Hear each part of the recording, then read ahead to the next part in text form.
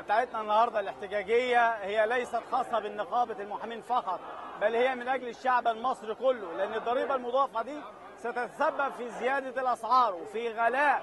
فضلا عن أنها تفتقد القانونية والدستورية لأنها ما فيهاش مساواة أنت تيجي تفرضها على المحامين وتعافي منها الأطباء فالضريبة المضافة تسبب في أزمة اقتصادية في البلد وتسبب في زيادة زيادة سوء الحالة الاجتماعية للمواطن المصري. النهارده إحنا ال- الاساتذه الزملاء المحامين متجمعين بخصوص القانون دون لأن إحنا معترضين على القانون دون كليا.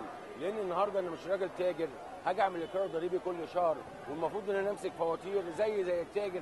لما يجي لي واحد موكل مثلا يقول أنا عايز استشارة ولا عايز أي شيء من هذا الكبير أقول له خد فاتورة. واقفة النهارده عشان المواطن والشعب المصري النهارده يتفرض قانون مشبوه من السلطة من السلطة التنفيذية ومن رئيس الجمهورية ومن مجلس الشعب ويمرر هذا القانون.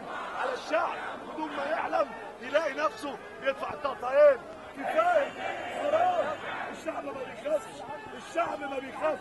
الشعب المصري في الشارع وهيفضل في الشارع. في قانون تظاهر يسقط بيه قانون تظاهر قانون ضريبة باطل قانون ضريبة باطل قانون ضريبة